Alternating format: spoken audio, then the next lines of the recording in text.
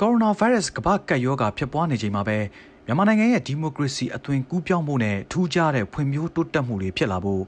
တတိယကြိမ်ထွေထွေရွေးကောက်ပွဲကိုလာမယ့်နိုဝင်ဘာလမှာကျင်းပနိုင်ရေးအတွက်အစိုးရကစီစဉ်နေပါတယ်။ဒါပေမဲ့လည်းအကြမ်းဖက်တိုက်ခိုက်မှုတွေနဲ့မူရစေဝါကုန်ကူးမှုတွေဟာလည်းရုတ်တရက်ဆိုသလိုမြင့်တက်လာနေပါတယ်။ မကြသေးမီကပဲရှမ်းပြည်နယ်မှာတင်အမေရိကန်ဒေါ်လာတသန်းကျော်တန်ဖိုးရှိတဲ့မူရစ်ဆေးဝါး9သိန်း1000ကျော်ဖမ်းဆီးမိခဲ့တယ်လို့မူရစ်ထိန်းချုပ်ရေးဘိုးကော်မတီကဇွန်လ23ရက်နေ့စနေနေ့ကသတင်းထုတ်ပြန်ထားပါတယ်။အဲ့ဒီအစောပိုင်းကာလမှာတုန်းကလည်းရခိုင်ပြည်နယ်မှာဘင်္ဂလားဒေ့ရှ်အမျိုးသမီး2ယောက်စီက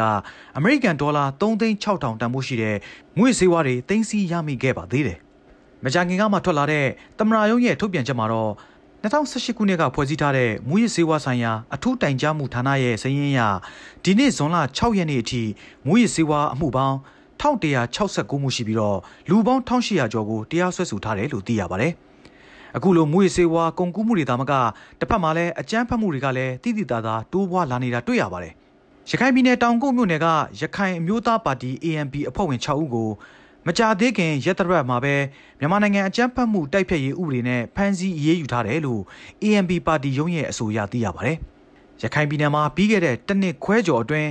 အစိုးရတပ်နဲ့ AA ရခိုင်တပ်တော်တို့ရဲ့လက်နက်ကိုင်ပဋိပက္ခတွေပြင်းထန်နေတာပါ။အစိုးရကလည်း AA ရခိုင်တပ်တော်ကိုအကြမ်းဖက်အဖွဲ့ဖြစ်သတ်မှတ်ထားပါတယ်။ဒါအခြေအနေကိုပုံမူဆိုးဝါးစေပြီးငြိမ်းချမ်းရေးအတွက်ပါထိခိုက်နိုင်ပါတယ်လို့ရခိုင်ပါတီတွေကသုံးသပ်ပါတယ်။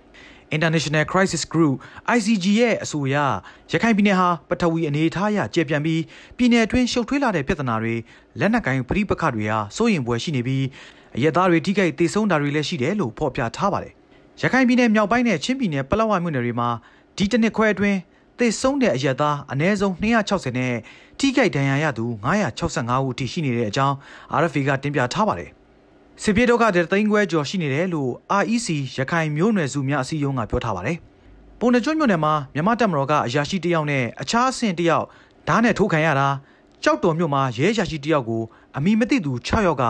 ဓာတ်နဲ့ထိုးပြီးတိုက်ခိုက်တာတွေကပြီးခဲ့တဲ့သတင်းပတ်မှာတင်ဖြစ်ခဲ့တယ်လို့အရက်သားတွေလည်း AA ကိုထောက်ပံ့ပေးတဲ့သူဒါမှမဟုတ်အဖွဲ့ဝင်ဆိုတဲ့တန်တရားတွေနဲ့ဖမ်းဆီးနှိပ်စက်တရားစွဲဆိုခံရတာတွေကလည်းမကြာခဏဆိုသလိုဖြစ်နေပါတယ်။